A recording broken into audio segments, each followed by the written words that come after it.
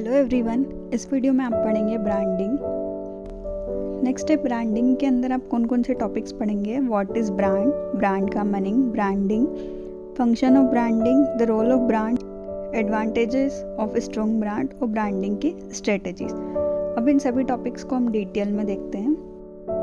First है brand a name logo symbol that evokes in customer a perception of added value, for which they will pay a premium price. एक नाम हो सकता है, लोगो या कुछ सिंबल हो सकता है, जिसके लिए ग्राहक उस चीज़ के लिए वैल्यू देने के लिए रेडी होते हैं या कुछ प्राइस देने के लिए रेडी होते हैं। ये दिया था जॉन टेरेला, जेसी, बंटा ग्रुप, टोरेंटो ने। Next a product with a personality किसी प्रोडक्ट की कुछ पर्सनालिटी होती है, उसको बुलाया कि उसको हम क्या बोलते हैं ब्रांड जिससे कि हम उस प्रोडक्ट को पहचानते हैं। Marketing communication in any form has an impact on customer perception अगर मार्केटिंग कम्युनिकेशन किसी भी फॉर्म में होता है तो वो कस्टमर पे कोई ना कोई परसेप्शन ज़रूर डालता है। नेक्स्ट व्हाट इज़ ब्रांड अब अगर मार्केटिंग मैनेजमेंट से रिलेटेड और भी टॉपिक्स पे वीडियो देखना चाहते हैं तो आप पहले के वीडियोस में वो टॉपिक्स पढ़ सकते हैं। बेसिक मार्केटिंग मैक्स मार्केटिंग का क्लासिफिकेशन मार्केटिंग मैक्स प्रोडक्ट का क्लासिफिकेशन प्रोडक्ट प्रोडक्ट मिक्स उन सभी से रिलेटेड आप वीडियो पढ़ सकते हैं। और अगर आपको ये वीडियो पसंद आए तो प्लीज़ लाइक कीजिए सब्सक्राइब कीजिए। और अगर आपको किसी टॉपिक्स पर वीडियो चाहिए तो आप कमेंट कर सकते हैं। नेक्स्ट है what is brand branding is combined efforts of company which is projected to consumer brand marketing company consumer design branding को कम्बाइंड एफर्ट्स बोला गया सभी का, जो कि कंज्यूमर प्रोजेक्टेड करते हैं। नेक्स्ट नेक्स्ट है ब्रांड का meaning brand is name term symbol design और combination of them which is intended to identify the goods और service of one seller group of seller and to differentiate them from those of competitor यहाँ brand का meaning बता रखा है कि brand क्या होती है, कोई भी नेम हो सकता है टर्म या सिंबल या डिज़ाइन हो सकता है या उसका कॉम्बिनेशन हो सकता है। मतलब इन सभी से मिलके भी कोई ब्रांड बन सकता है। जिससे कि हम गुड्स को या सर्विसेज़ को आइडेंटिफाई कर सकें, या तो उनके सिंगल सेलर के अकॉर्डिंग या ग्रुप ऑफ़ सेलर के अकॉर्डिंग हम उनको डिफ्रेंशिएट कर सकते हैं कॉम्पिटिटर से उनके। तो ये होता है हमारा ब्रांड नेक्स्ट है ब्रांडिंग ब्रांडिंग एक प्रोसेस होती है जिससे कि हम आइडेंटिफाई कर सकते हैं या तो प्रोड्यूसर को या उसके प्रोडक्ट को, जो कि ट्रेड नेम या ब्रांड को रिप्रेजेंट करते हैं, या तो कोई वर्ड्स हो सकते हैं या फिर डिज़ाइन हो सकती है। हमें कुछ सिम्बॉल्स पता होते हैं, जिससे हमको पता होता है कि वो कौन सी ब्रांड है, हम उसको देख के समझ सकते हैं। तो उससे हम ब्रांड को पहचान सकते हैं। नेक्स्ट है brand name brand name consist of words letter numbers which may be vocalized or pronounced like Pepsi, Whirlpool या तो वर्ड्स या लेटर या नंबर्स हो सकते हैं ब्रांड में जिसको कि हम बोल सकें या प्रोनाउंस कर सकें। जैसे कि यहाँ पे पेप्सी कोको कोला थम्सअप हम उन सबको बोल सकते हैं पहचान सकते हैं और जानते हैं। नेक्स्ट नेक्स्ट है फ़ंक्शंस ऑफ़ ब्रांडिंग कि हम ब्रांडिंग क्यों करते हैं और इसके क्या क्या फ़ंक्शंस होते हैं? फ़र्स्ट है प्रोडक्ट आइडेंटिफिकेशन कि हम प्रोडक्ट की आइडेंटिटी को पता कर सकें उस ब्रांड से, हम उस प्रोडक्ट को पहचान सकें, इसलिए हमको ब्रांडिंग करने की ज़रूरत होती है। सेकेंड है प्रोडक्ट डिफ्रेंशिएशन कि जो हमारा प्रोडक्ट है उसको हम दूसरे लोगों से डिफरेंट कर सकें, कि एक प्रोडक्ट दूसरे प्रोडक्ट से कैसे डिफरेंट है। तो उसके लिए भी हमको ब्रांडिंग करने की ज़रूरत है। जैसे हमको पता है कि यूट्यूब अलग है ट्विटर अलग है फेसबुक अलग है तो ऐसे हम डिफ्रेंशिएट कर सकते हैं। नेक्स्ट है एलिमिनेट इमिटेशंस जो भी चीज़ें सेम होती है, उसको करने से रोकता है कि जैसा आपका प्रोडक्ट है आपकी ब्रांड है, वैसा कोई कॉपी नहीं कर सकता है। उसको कुछ डिफरेंट करना ही होगा।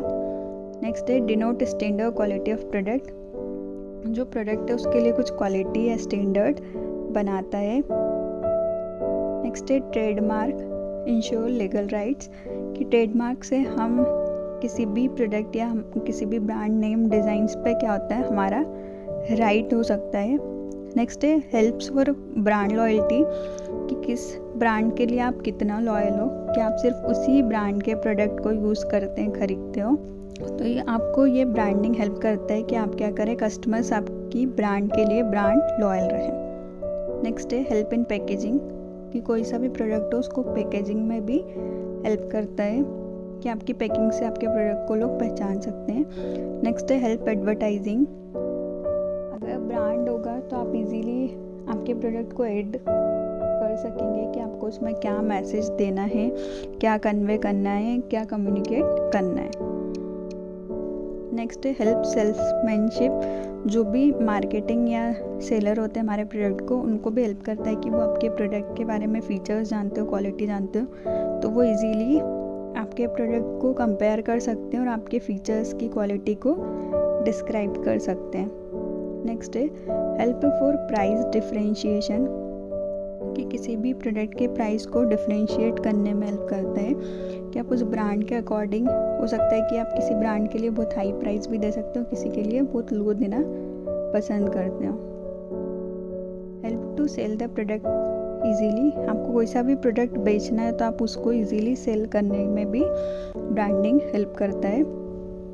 नेक्स्ट है हेल्प्स फॉर रिपीटेड सेल्स कि आपके प्रोडक्ट की रिपीटेड सेल्स बढ़े। एक बार किसी ने किसी ब्रांड का प्रोडक्ट यूज़ किया, उसको पसंद आया, अगर वो हाईली सेटिस्फाइड होगा या डिलाइट होगा तो वो क्या करेगा? रिपीट उसी प्रोडक्ट को फिर से खरीदेगा।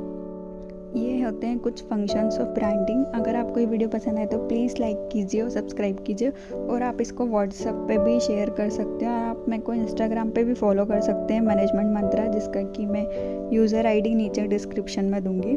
तो आप आपके डाउट्स वहाँ भी क्लियर कर सकते हैं। नेक्स्ट रोल ऑफ़ ब्रांड्स कि ब्रांड्स के क्या क्या रोल होते हैं? फ़र्स्ट आइडेंटिफाई द मेकर कि हम उस ब्रांड के थ्रू किसी प्रोडक्ट को या किस ब्रांड का प्रोडक्ट है, उसकी फीचर्स क्वालिटी को जज कर सकते हैं। नेक्स्ट है सिंप्लीफाई प्रोडक्ट हैंडलिंग कि प्रोडक्ट को कैसे हैंडल करना है या कैसे यूज़ करना है, उसको भी आप समझ सकते हैं, वो भी इजी हो जाता है। नेक्स्ट है ऑर्गेनाइज अकाउंटिंग कि हम हमारी अकाउंटिंग या बजट भी हम इजीली डिसाइड कर सकते हैं। नेक्स्ट है सिग्निफाई क्वालिटीज़ कि क्या क्या क्वालिटीज़ होगी उस प्रोडक्ट की, हम उसको भी देख सकते हैं। नेक्स्ट है क्रिएट बैरियर्स टू एंट्री जो भी हमारा ब्रांड है, वो दूसरों के लिए बैरियर्स क्रिएट कर देता है कि वो उस मार्केट में इंटर नहीं हो सके, क्योंकि उसको लगता है कि अब उससे बेटर या फिर उसने जो सोचा था, वो किसी और ने ऑलरेडी कर दिया है या उसका कॉम्पिटिटर ऑलरेडी मार्केट में है। नेक्स्ट है serve as a competitive advantage अगर आपका ब्रांड है तो आप ऑलरेडी प्रमोटेड होंगे, लोग आपको पहचानते होंगे। आप कंपटीशन का एडवांटेज ले सकते हैं, क्योंकि ऑलरेडी आप फ़ेमस है, लोग आपको जानते हैं, आपका ब्रांड है। और लोग उस ब्रांड के लिए ब्रांड लॉयल भी होंगे। नेक्स्ट है सिक्योर प्राइस प्रीमियम कि आपका जो प्राइस है किसी प्रोडक्ट का, वो भी सिक्योर होगा कि लोग उतना प्राइस देने के लिए रेडी होंगे। एडवांटेजेस ऑफ़ स्ट्रॉन्ग ब्रांड कि कोई भी ब्रांड अगर स्ट्रॉन्ग है तो उसके क्या क्या एडवांटेजेस हो सकते हैं। फ़र्स्ट है इम्प्रूवड परसेप्शन ऑफ़ प्रोडक्ट कि जो प्रोडक्ट को लेके हमारा परसेप्शन है, वो और इम्प्रूव होता है और पॉजिटिव भी होता है। नेक्स्ट है less vulnerability to competitive marketing actions जो भी कंपटीशन मार्केट में उसको लेके हम लेस अवेयर हो जाते हैं, क्योंकि हमको लगता है कि हम उनसे आगे निकल चुके हैं। नेक्स्ट है इंक्रीज मार्केटिंग कम्युनिकेशन इफेक्टिवनेस की जो भी आपको कम्युनिकेट करना है, वो इंक्रीज हो जाती है उसकी इफेक्टिवनेस क्योंकि आप ब्रांड है, उसको इजीली एडवर्टाइज या कम्युनिकेशन करना इजी होगा। लोग उसको पहचानने लग जाएँगे रिमाइंड होने लग जाएगा उनको। लेस वनलिबिलिटी टू क्राइसिस की क्राइसिस के टाइम पे भी इफ़ेक्टिव होता है। नेक्स्ट है लार्जर मार्जिन कि अगर आप ब्रांड है तो आप हाई प्राइस में भी आपके प्रोडक्ट को सेल कर सकते हैं। अगर लोग ब्रांड लॉयल होंगे तो वो आपके प्रोडक्ट के लिए हाई प्राइस भी देने के लिए रेडी होंगे। नेक्स्ट है मोर इनलास्टिक फिर नेक्स्ट है ग्रेटर ट्रेड कॉपरेशन कि ज़्यादा आपका कॉपरेशन इंक्रीज हो जाता है। ग्रेटर लॉयल्टी अगर आपका ब्रांड स्ट्रांग है तो लोग आपके लिए ब्रांड लॉयल होंगे। मतलब आपकी क्वालिटी या फीचर्स आपके प्रोडक्ट के उनको अच्छे लगे होंगे या कम प्राइस में होगा। तो क्या होगा कि लोग आपके प्रोडक्ट को बार बार खरीदेंगे, वो रिपीट बायर बनेंगे आपके प्रोडक्ट के लिए। नेक्स्ट है पॉसिबल लाइसेंसिंग अपॉर्चुनिटी कि आपके पास अपॉर्चुनिटी होती है कि आप क्या करें लाइसेंस ले सकें। नेक्स्ट फ़र्स्ट है brand strategies brand strategy indication करता है कि आप कैसे किसी प्रोडक्ट की ब्रांडिंग करते हैं। उसकी क्या ओवरऑल मार्केटिंग स्ट्रेटजीज होती है और क्या क्या डिफरेंट तरह के ब्रांड स्ट्रेटेजी के आपके पास ऑप्शन होते हैं। तो फ़र्स्ट होता है सिंगल ब्रांड इसको ब्लैंकेट ब्रांड फैमिली ब्रांड या अम्ब्रेला ब्रांड बोलते हैं। ये बताता है कि आप क्या करें सिंगल ब्रांड नेम का यूज़ करते हैं सारे प्रोडक्ट के लिए, जैसे कि सिंगल ब्रांड नेम से पता चलते हैं।